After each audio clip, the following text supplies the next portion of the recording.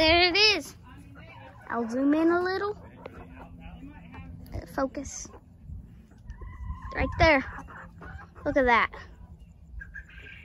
Zoom in. They're fighting.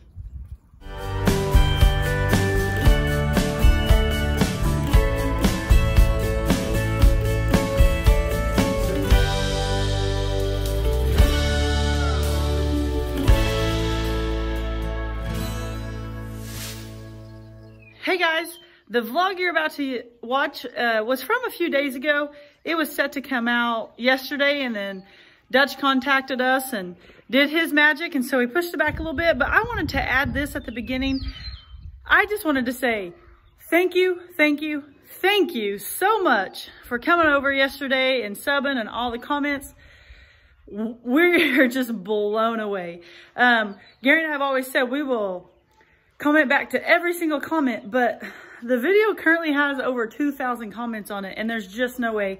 We stayed up till 1 o'clock last night after we got the kids to bed trying to comment and thumbs up and heart, and we just can't get caught up. So we just want to say thank you, thank you, thank you. We're so, so appreciative, and we're just blown away at your support. So we hope you enjoyed this little vlog, and uh, we'll see you next time. What's up, guys? Welcome back to the channel.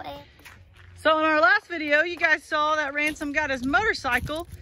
He was doing really well on it, but Mama was having to run beside him to get when he would start and then when he would stop because his feet are a little short. So Daddy built these little training wheels and show him how, they, how it works, Ransom. So they're lopsided so that he still has to work on balancing and things. But I am not having to run beside him and about die of a heart attack. So uh, I now know that I need to get in a little better shape. Now he can ride it all by himself, go wherever he wants. Um, and he doesn't have his helmet on, but the thing doesn't go very fast. Um, good job, buddy. look what I made. Ranger's been making some bracelets. He made bracelets last year and sold them, and he's kind of got back into making some. Um, so he made some bracelets. Nana got him a necklace like his cousin Gregory's. Look at our bridge, guys. Boys been out making some bridges. Uh, eventually this area is going to be parking and we're going to have a sidewalk that goes up to the front door so that people can actually use the front door. But until then, um, they are taking advantage of playing in the mud. Daddy's leaving for work. So Gary had been working in the closet. Uh, that was his office, but he's been having to go in to locations every now and then.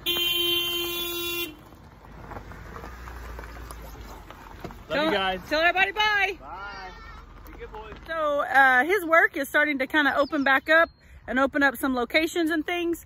And so he's been having to go in, help with some training, some new rules, guidelines, all that yada yada stuff. Looks like we'll be finishing up all the farm chores on our own. So if you've been with us very long, you know we've been talking about the chicken mansion that's gonna go over in here. Uh, it is in the works, but uh, since Gary had to start going back on site and things like that, it's uh, slowed down a little, but we're getting to it. All right, so Ranger's gonna feed the rabbits. I'm gonna feed the chickens and we're gonna check on the quail. Oh, you hear those quail talking? So We moved the quail, always point wrong. We moved the quail out here because they were getting really smelly in the shop. They're doing really good out here. Uh, I still love those Rent-A-Coop waters. If you uh, haven't seen that video, go up here to the iCard and check that out. If you have any type of birds, they also work for rabbits and things like that. Um, but I highly recommend the Rent-A-Coop waters. It has worked out tremendously. Watch this. Ready? He's a good boy, isn't he? Yep. This is our buck. What's his name? Boomer. Boomer. You wanna pet him? Okay, hang on.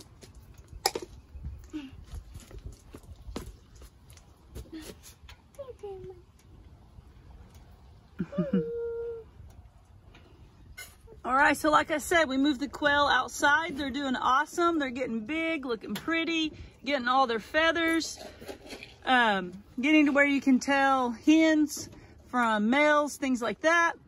Um, and I, I really, I think they're just beautiful. So, uh, there's one way back there. There it comes. That is pretty much all white. So pretty. They're talking to you. All right, so I just got the chicken water cleaned up and filled up. I'm gonna carry it in there, give it to them. And I'm not gonna video myself because it's a little bit heavy and I look pretty goofy when I carry it. So check back with you in a second. All right, one task that I am going to complete today is, um, you've had me, heard me talk about before these hutches that we have. The spots where there's no wire, like uh, back in that hole back there, um, it is wood. And then over in this big hutch, half of it's wood, half of it's wire, a little more than half. Um, yes, Ransom? Oh, we need to use a bathroom. All right, I am back. So, uh, I'm not real sure where I was at, but if you make a rabbit hutch, make the entire bottom wire. Do not put wood uh, in the bottom of the wire hutch. One, they, for some reason, will poop and pee on that wood instead of the wire, even if it's just a tiny bit of wood. So as soon as we get a chance, we're going to redo the bottoms of a bunch of these hutches. Um, so I'll show you this one. So not much wood, but right here's where he wants to poop and pee sometimes. So I, br I brush this out uh, pretty much every day. And then back there in those little nest boxes is wood and I'll show you uh, there's poop.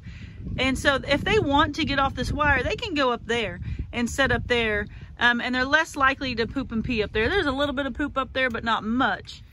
Uh, so like I said, um, you can build a little place up there like they can get in to get off the wire or we put uh, tile pieces of tile in ours sometimes because that keeps them cool and they can get off the wire or whatever.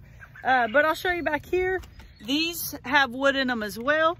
A little bit of poop in it. I have to clean it out every so often, but every so often we get a rabbit that the only place they poop and pee is on the wood and it just soaks it in and it gets disgusting. So the reason I have these nesting boxes up here is because uh, these are some wood nesting boxes that have bottoms in them um, and I don't really like them. We have a few uh, metal ones that we use and I like them a lot better. They You can put the bottom in or take the bottom out.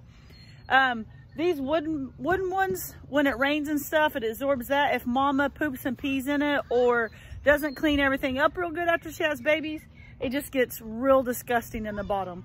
Um, so I could take the bottoms out and just leave them blank or put wire in them. But since we have four or five of the metal ones, what I'm gonna do with these is I'm gonna take them apart and I'm gonna use the pieces to cover up the hole in the back of that hutch so that the rabbits can't get in there anymore. And so um, I'm gonna cover that up. They can get up on that, woo, It was a fly. They can get up on that top part if they wanna get out of the wire, but I'm covering that hole up for now because during the summertime, if they go in there and poop and pee, it just gets disgusting. I'd have to clean it every single day for it to not get disgusting.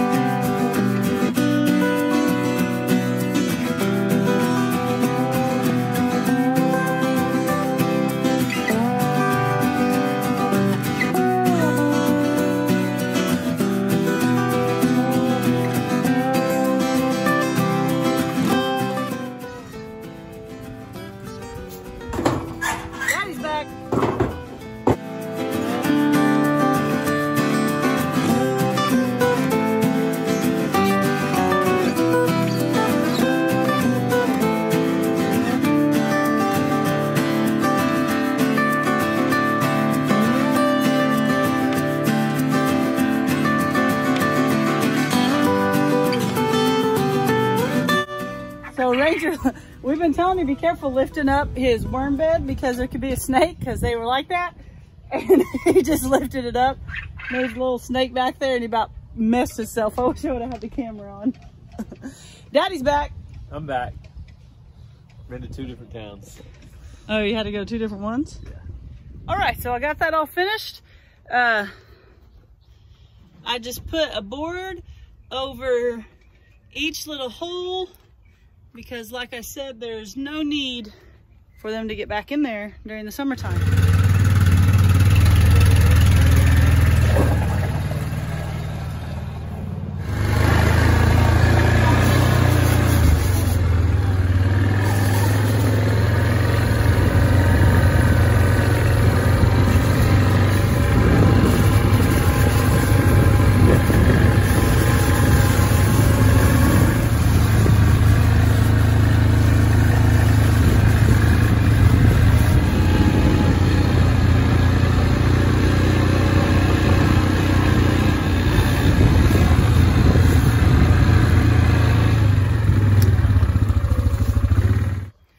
The neighbors have been moving Salt's pin around. If you remember, he was right over there.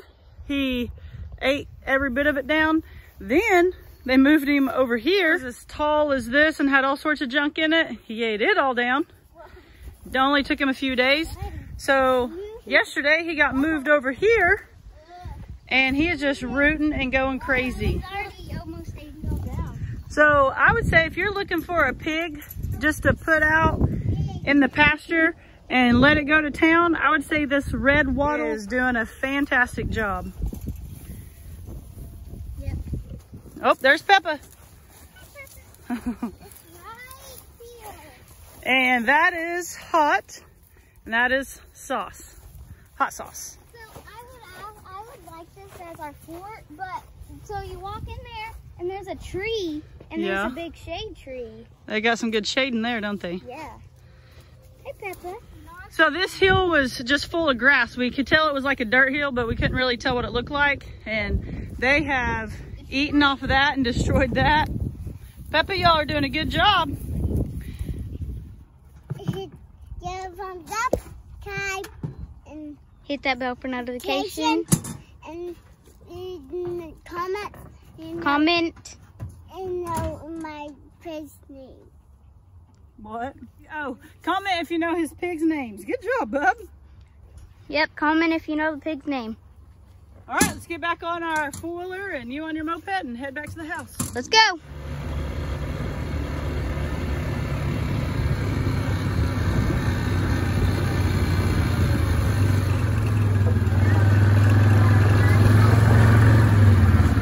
So I know some of you guys have been wondering about Hank and how he's doing.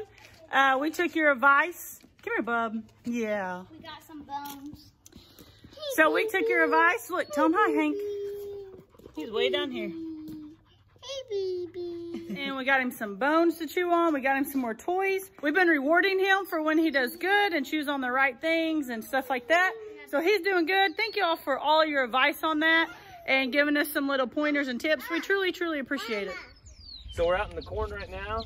Uh, it hasn't rained in a few days, so it's dry enough to get in here, do some hoeing around the corn. And one thing that we want to share is that sometimes you get really good production out of part of your ground, and then in other areas, mainly that end of the garden, it's not doing so hot. So it would be real easy to get discouraged, but I just want to encourage uh, fellow gardeners out there to keep going. So we had to move some corn around because of our dog got in it, and then some of it just didn't take up real well in part of the ground. But instead of uh, worrying about that corn, we're going to use this area now for some pumpkins. So we're going to grow some pumpkins right here, and then we'll also plant some fall corn a little later on, and take another stab at the corn and see if we can do better next time. Mazzy, the graduation was the other day, and your teacher asked you what was your favorite food to eat for dinner. What did you say? You said corn.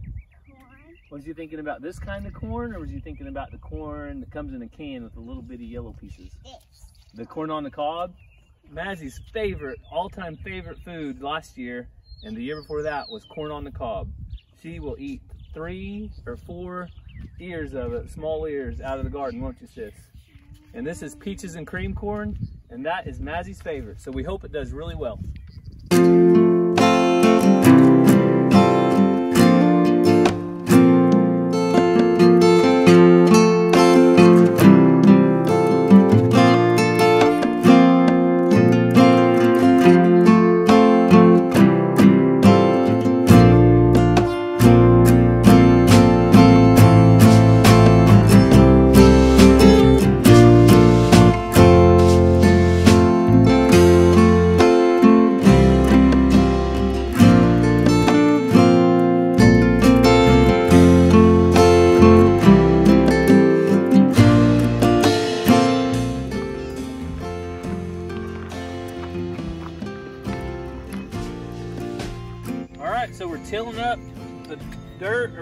Peppers because in just a minute, we're gonna run the tiller straight through here and get all the dirt turned up and kill all these grass seeds that are growing.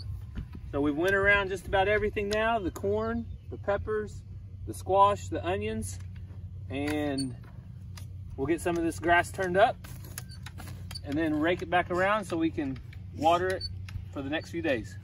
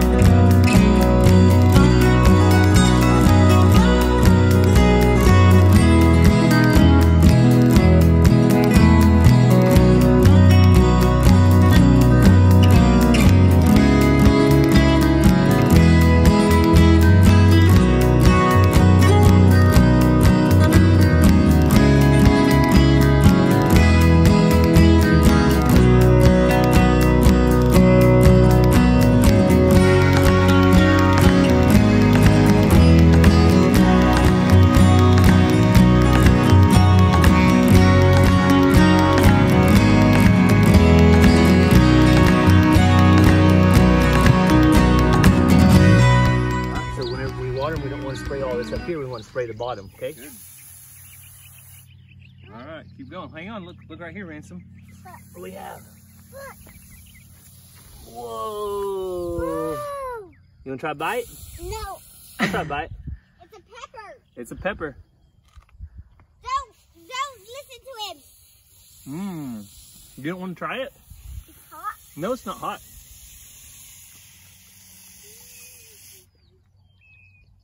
What do you think? Good? He likes it. He really likes it. You're not Mikey, but you like it, don't you? I was just thinking the same thing. Give it to Mikey, he'll eat it. You're Good doing job. a good job, sis. Good job. All right, so we have bell peppers. You're watering the bell peppers. I want to try. Want more? No, I want to try. Wait, after you do two more, then Ransom get a turn, okay? Peel one. Right towards the bottom. Sure I get me back. Move To the bottom of the plant.